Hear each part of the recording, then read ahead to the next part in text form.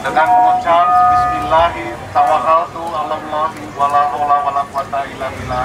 Jadi Berangkatan pemberangkatan kloter 10 jamaah haji jemaah haji Kabupaten Bekasi dengan resmi saya berangkatkan.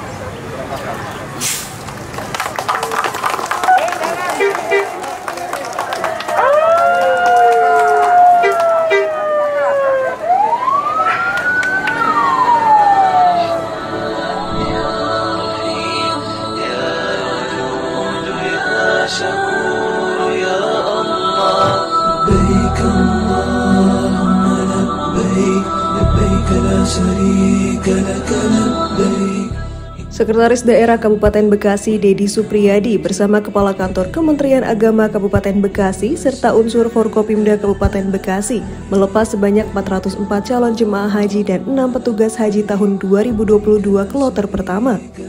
Bertempat di Gedung Swatantra Wibawa Mukti Cikarang Pusat pada Jumat 10 Juni 2022. Sekretaris daerah mengatakan bahwa para calon jemaah haji ini akhirnya dapat mulai diberangkatkan ke Tanah Suci secara bertahap. Setelah sebelumnya tertunda dari tahun 2020 lalu akibat pandemi COVID-19. pertama kalinya setelah masa pandemi dua tahun. Jadi kita harus patut syukuri bahwasanya pemerintahan dari Arab Saudi sudah membuka walaupun secara bertahap ya.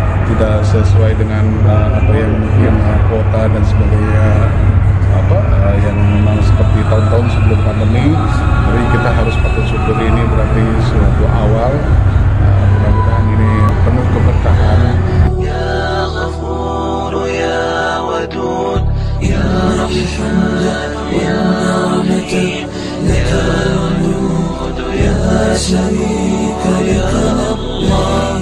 Dirinya juga berpesan kepada seluruh calon jemaah haji untuk terus menjaga kondisi kesehatannya saat menunaikan ibadah haji. bersama dengan Provinsi Jawa Barat eh, pada saat ini sudah kita lepas kloter 10 Pak Yusuf sejumlah 410 bersama baik jemaah calon jemaah haji maupun dengan petugas syukur Alhamdulillah mudah-mudahan